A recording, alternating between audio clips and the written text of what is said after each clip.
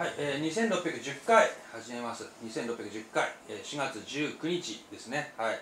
TBS ニュースからですね。はい。今年3月札幌高裁高等裁判所は同性婚を認めない法律の規定は憲法に違反すると判断、えー、同性愛者に対して婚姻を許していないことは合理的な根拠を欠く差別的な扱いだと。したということでまあこのねいわゆる同性婚を認めるようにっていうねあの集団訴訟これは、まあ、今回の札幌だけじゃなくて全国で起こされていて2審で憲法違反と判断されたのはこの札幌が初めてだということ。うんでこのね札幌高裁のね踏み込んだ、ね、判決、うん、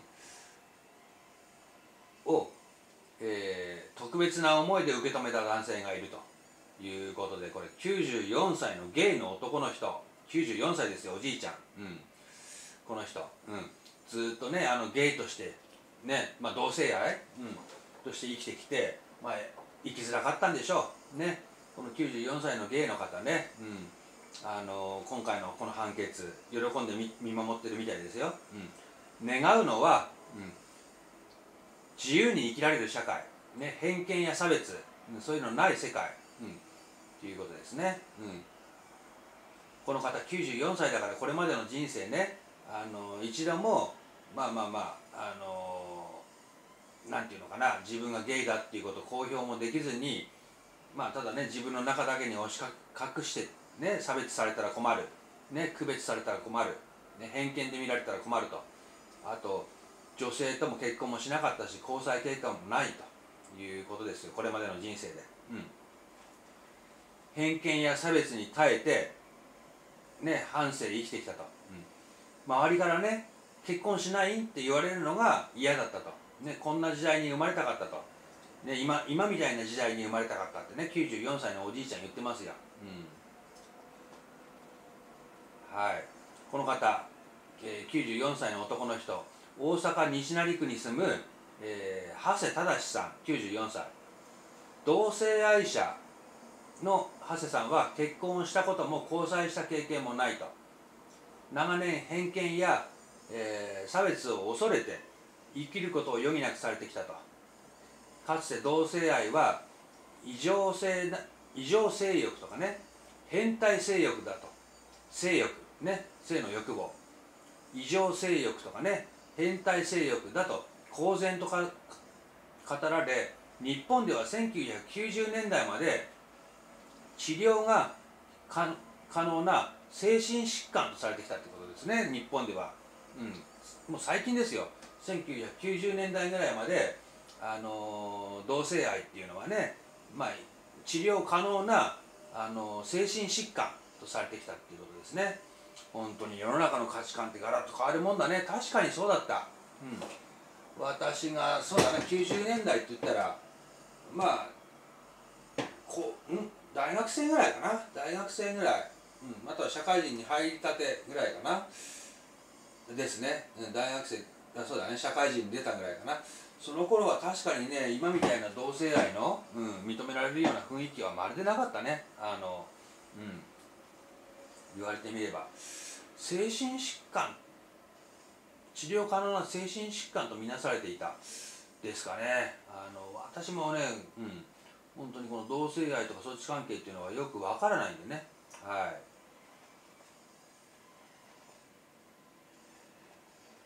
まあこの94歳のねあの長谷さん好きな人まあ男の人でしょ。好きな人はいたけど言葉には絶対出されへんと、うん、気持ちはずっと抑えたままだったということですね。うん、で、まあ、このゲイといえばね同性愛男性の同性愛といえば私もこの雑誌は知ってる。伝説のゲイ雑誌「バラ族」これは私も知ってますね。元編集長が語る異常とか変態とかでもないと私は言い続けてきたと。編集長。同性愛は病気とされた時代。同性愛者を明るいところへっていうことで、あの、宣言した雑誌がある。1971年に誕生した日本初となるゲイの専門誌商業雑誌「バラ族」うん、30年余り編集編集編集長をしてきた伊藤文学さん91歳の取材に応じたということでバラ族って知ってますかね？これ私もねあのやっぱりねまあその時若かったから私も差別意識とかあったんだと思うよ。バラ族っていうと偏見があってね気持ち悪い雑誌みたいなね。でも男が男と抱き合ってるみたいなね。そんな雑誌でしたよ、うん、だから気持ち悪いみたいなね。そういう対象にして私も喋ってたような記憶あるね。これね。うん。はい。編集長生きてらっしゃるんですねこれね。あのー、伊藤文学さんっていうのかな？この方91歳。うん。30年ぐらいバラ族の編集長をやられたみたい。この方自体は別に同性愛でもなくて普通に、ね、女性の人が好きだというような、ね、伊藤文学さん編集長、うん。はい。で昔はこの伊藤さん言うにはもう同性愛なんだけど、まあ、当時ね周りの目があると。だから結婚しないわけにはいかなかったと。そんで無理やり結婚して家の中でバラ族を隠して読んでいたっていう愛読者もいたということででバラ族ねあのまあ今ね令和の世の中になってまあ本雑誌売れなくなってきてるんだけどもこのバラ族もね一時期は随分売れてたと。うん。えー、バラ族発行部数1990年代には3万部を超えたと。しかし次第にねインターネットの普及などによりあの部数は減って、えー、2004年に廃刊したっていうことですね。はい。でこの長谷さんバラ族のあバラ族じゃない94歳の、えー、大阪西成区に住む長谷さんに密着したドキュメンタリー映画「94歳のゲイ」が4月20日から、えー、ポレポレ東中野で上映が始まるということで長谷さんは上映に合わせて上京しプライドパレードにも参加する予定だということ全ての人が偏見や差別にさらされることがなくより自分らしく生きることができる社会を目指して点々点となってますっていうことで。まあね本当世の中ねたった20年30年でこれだけ変わるのかっていうぐらい今同性愛に対する世の中の見方っていうのがすっかり変わりましたね。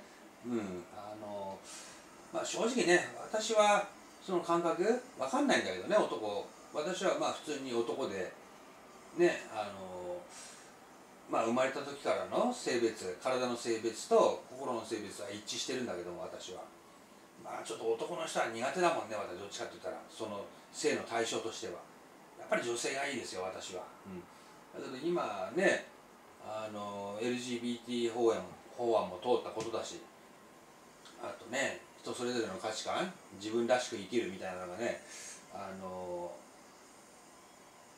なんていうかね。もう本当社会的に、うん、合意形成取られてると思いますね。うん。まあ、この長谷さんからしたらちょっともうちょっと早くね世の中の価値観とか変わってくれてよかったのにっていう。まあ同性愛に関してはでも昔から日本は寛容ですよね。で昔からいることはねあのー、存在することはうん。あのなんていうのかな。まあ、文学とかなんとかでも出てきますよね。よく同性愛とかね、うん、そういう文化も日本にありますから、うん、割とすんなりこの受け入れやすい土壌っていうのはあったかと思いますよ日本で、うん。まあ、諸外国他の国では結構同性愛今イスラムの国なんかねあのご法度ですけどもあの諸外国では結構ねそれこそ差別迫害受けるような地域もいまだにありますから、はい、その中日本はねあの同性愛に関しては昔から寛容なねあのお国柄だったんだと思いますよ。はい。長谷さんね映画ドキュメンタリー映画ねあの長谷さんのことを扱った密着したか。密着したドキュメンタリー映画が4月20日から公開されるっていうことでね長谷さん、えー、記事になってましたっていうことで。94歳の同性愛者ね。まあまあまあもうちょっと早くねあの何十年かさね早く、ね、今みたいな雰囲気になってれば橋さんももっとね行きやすかったんじゃないかなと思います。はい、私はね同性愛の、まあ、男性同士でも女性同士でもいいけど、うん、あのなんていうのかな。まあ実際そういう人いるんだから確実に一定数、うん、あのトランストランスジェンダー的な方っていうのはね一定数いる。